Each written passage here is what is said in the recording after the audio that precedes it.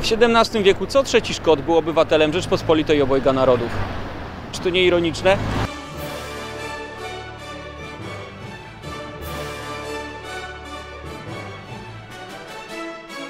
W Anglii mieszka ponad 650 tysięcy Polaków. To tyle, co w dużym polskim mieście. Większość z nich zarabia tutaj takie pieniądze, które nie byłyby w ich zasięgu u nas w kraju. I większość z nich wcale nie chce do Polski wracać. Pytanie brzmi, co moglibyśmy zrobić, żeby jednak zmienili swoje zdanie i chcieli wrócić do Polski? To jasne, że nie każdemu na emigracji układa się dobrze, ale każdy ma możliwość odmiany swojego życia. I jakoś tak się stało, że ogromna część Polaków nagle postanowiła zmienić coś w swoim życiu. I jeśli wybrali na miejsce zmiany inne państwa, to znaczy, że z naszym musi być coś nie tak. Ludzie wyjeżdżają. Możemy coś zrobić, żeby odwrócić ten trend? Polacy z kraju wyjeżdżają, dlatego że mają tego kraju dość. Bo generalnie rzecz biorąc, taka jest natura człowieka, że lubi miejsca pamiętane z dzieciństwa, lubi swoich znajomych. Dopiero jak jest mu źle, to wyjeżdża. Polacy z Polski wyjeżdżają głównie w poszukiwaniu pracy. Wyjeżdżają tam, gdzie tę pracę e, łatwiej znaleźć. A znaleźć ją jest łatwiej tam, bo przedsiębiorcom łatwiej jest tam utworzyć miejsca pracy. Polacy nie uciekli do Anglii przed polską tradycją. Łatwo to zauważyć po tym, że nadal w Anglii kultywują nasze rodzime obyczaje. Polacy uciekli przed czymś innym. Uciekli przed polskim fiskusem, polskim biurokratą i polskim politykiem, który załatwia im najbardziej skomplikowany system podatkowy na świecie wyjechała olbrzymia rzesza młodych ludzi. E, ten masowy odpływ następował od roku 2004 i tak naprawdę większość z nich w pewien sposób już osiedliła się w Wielkiej Brytanii czy też innych krajach e, Europy Zachodniej. E, mają tam swoje rodziny, mają firmy, mają pracę.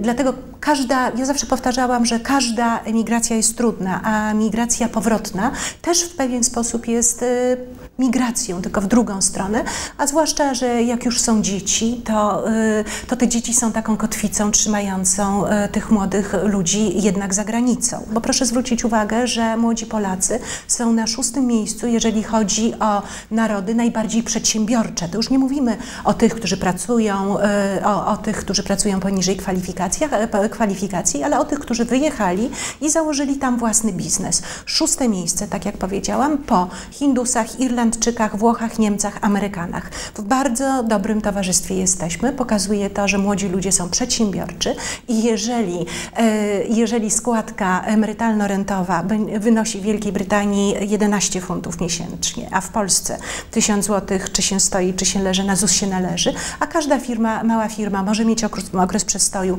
może mieć trudności i ten haracz, ta danina płacona państwu po prostu nie opłaca się młodemu przedsiębiorcy. To przedsiębiorcy są kołem zamachowym każdej gospodarki. Dlaczego? Dlatego, że potrafią jedną unikalną rzecz. Potrafią przewidzieć oczekiwania konsumentów i potrafią im dostarczyć nowe produkty na rynek, tańsze i lepsze. Zła wiadomość dla Polski i Polaków. Tych przedsiębiorców u nas jest coraz mniej.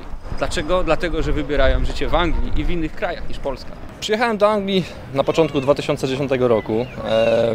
Sześć lat prowadziłem biznes w Polsce. Przyjechałem zobaczyć jak tu się prowadzi biznes, ponieważ wielu moich znajomych, którzy wyjechało tutaj nie tylko do pracy, ale też prowadzić biznes, mówią, że tu jest dużo łatwiej.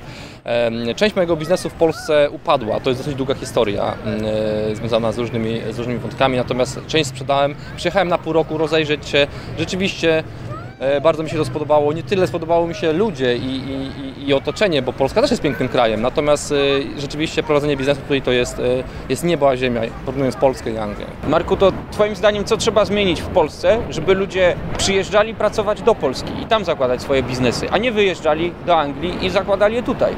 Myślę, że trzeba ulżyć przedsiębiorcom, trzeba im bardziej zaufać, nie traktować ich jako potencjalnych przestępców. Ja wiem, że są różni przedsiębiorcy, jak są różni ludzie, ale, ale traktowanie ich jako przestępców i, i, i, i chociażby zapisywanie w budżecie państwa kar od, od, przedsiębiorców, no to to jest skandal. To, to nie służy rozwijaniu przedsiębiorczości i nie służy też budowaniu oczywiście miejsc pracy. Prowadzenie przedsiębiorstwa i praca niekiedy po kilkanaście godzin dziennie to wymagające zajęcie. Na pewno cięższe niż wydaje się to polskim urzędnikom. Polsko-brytyjskich przedsiębiorców jest więcej. Wojciech Kołodziej to jeden z nich – i ma coś do powiedzenia o biurokracji na wyspach. Rozmowa z urzędnikami angielskimi jest bardzo prosta, gdyż e, ten człowiek za, za szybą, za okienkiem, tak, on jest po to, aby Ci pomóc. Jeżeli Ci nie może pomóc, nakieruje Cię e, na odpowiednie organa, na odpowiednie, nie wiem, instytucje lub, lub po prostu pomogą Ci naprawdę, żeby rozwiązać ten problem. Nawet gdy pojawi się jakaś e, zaległość z czymś po prostu, nie wiem, z VAT-em, dostajesz a priori taki pis, pismo, w którym mówią, że powinieneś to uregulować jak najszybciej, bo będzie kara. Nie ma tak, że jesteś ukarany i wtedy próbujesz wszystko, po prostu oni zakładają, że po prostu jest jakaś Wismajer, siła wyższa, która, która przeszkodziła Ci w tym, że nie mogłeś swojego obowiązku jako płatnik e, podatkowy uregulować. Wokół polskiej emigracji zdążyło już wyrosnąć kilka mitów. Możemy dowiedzieć się, że Polacy przyjechali do Anglii po to, aby odbierać rodowitym Brytyjczykom pracę. Albo, że przyjechali po to, aby odbierać im zasiłki, czyli benefity. Bardzo często te sprzeczne opinie wypowiada jedna i ta sama osoba, a rzeczywistość jest jeszcze bardziej złożona. Well, the impact is really positive. Uh, the general kind of evaluation that economists have made is that the immigration to the UK from Poland primarily and other parts of Eastern Europe added about 1.5% to GDP uh, before the financial crisis and has stimulated GDP considerably since then. So the sort of broad economic impact has been very, very strongly positive.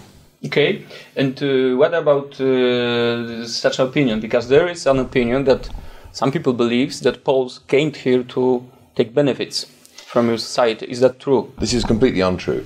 Uh, all of the evidence is that immigrants, in fact, are less likely to be in receipt of benefits than the indigenous population. This is not just true in the UK, by the way. It's a general truth that economic migrants are more productive, less likely to be in receipt of state benefits, more likely to be net taxpayers. If you speak, you know, to people who run fruit farms, they'll often sort of say, "Oh, the only people I can get to turn up at time to pick my fruit and get it sorted out are Poles or Eastern Europeans. I can't get the British labour force to do those jobs on the salary I'm offering." Uh, but it's not only those low-end jobs.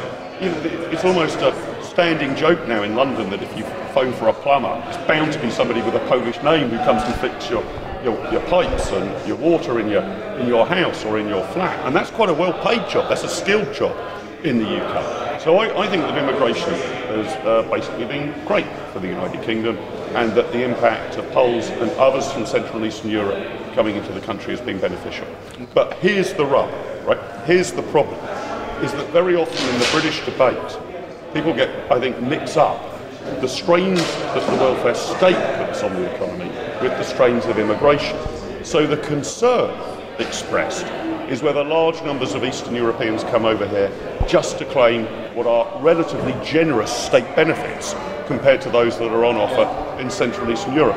This has been, I think, a particular problem not so much with regard to Poland, but more with regard to Romania and Bulgaria, where GDP is that much lower. So, but that's been the sort of concern. But you know, from those who are opposed to immigration, or think there's far too much of it, you get a very confused picture. On the one hand, they say, well, they're coming over here and stealing our jobs. On the other hand, they say, well, they're coming over here and claiming our welfare benefits. You know, pick one. You know, come, which is it? Polacy w Anglii nie pracują tylko na zmywaku. To popularny mit, jakoby nasi rodacy wykonywali na wyspach tylko najgorzej płatne prace i te, których nie chcą wykonywać sami Brytyjczycy. W rzeczywistości Polacy pracują właściwie we wszystkich branżach brytyjskiej gospodarki. Ale to, co jest ważne, to to, że w ogóle mają tą pracę i mają gdzie pracować. Ale ta ciężka praca to nie tylko zarabianie pieniędzy. Wielu Polaków angażuje się w życie publiczne Wielkiej Brytanii.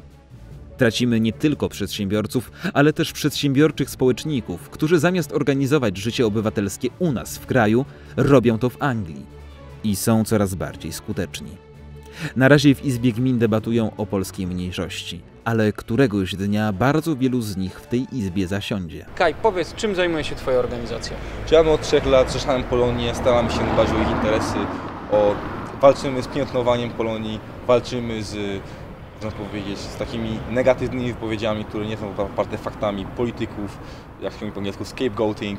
Y, Staramy się dbać o przedsiębiorców, by zapewniać im minimalną usługę prawną, nie są w stanie sobie sami y, jej zapewnić. Y, Mamy regularne spotkania w soboty i niedzielę w różnych miastach, Manchester, Londyn, Aberystwyth, Cardiff, Edinburgh. Mamy około 9 oddziałów, ciągle nowe powstają. Naszą długotrwałą misją jest po prostu stworzenie emigracji, która jest świadoma, swojej polskości, świadoma swojej wartości i świadoma tego, że ma i powinna mieć spory wpływ na Wielką Brytanię, ponieważ jesteśmy organicznie konserwatywną i przedsiębiorczą y, emigracją. Zastanówmy się, co trzeba zrobić, aby do Polski przyjeżdżali przedsiębiorczy ludzie, a nie z nich wyjeżdżali. Co zrobić, żeby odwrócić ten trend, który najbardziej przedsiębiorczych wypycha z naszego kraju. Tutaj opinie ekspertów są jednoznaczne. Ludzie wyjeżdżają za granicę w poszukiwaniu lepszego życia wtedy, kiedy jest duża różnica poziomie życia między danym krajem a innymi krajami, w tym przypadku między Polską a krajami Europy Zachodniej. Jest wobec tego tylko jedno generalne rozwiązanie. Polska musi nadal rozwijać się szybciej niż już zamożny Zachód, tak aby bodźce do wyjazdu, szczególnie przedsiębiorczych Polaków z Polski, były jak najsłabsze. W związku z tym y, nie ma sensu rozdzierać szat, gdy ludzie wyjeżdżają. Jest sens o wiele bardziej zmobilizować się, żeby przeciwdziałać tym grupom roszczeniowym i tym politykom, którzy pod szumnymi hasłami osłabiają wzrost gospodarczy Polski, czyli w ten sposób przyczyniają się do tego, że z Polski młodzi ludzie wyjeżdżają. Jeśli Polak potrafi działać w Wielkiej Brytanii, to dajmy mu też możliwość działać tu, w Polsce.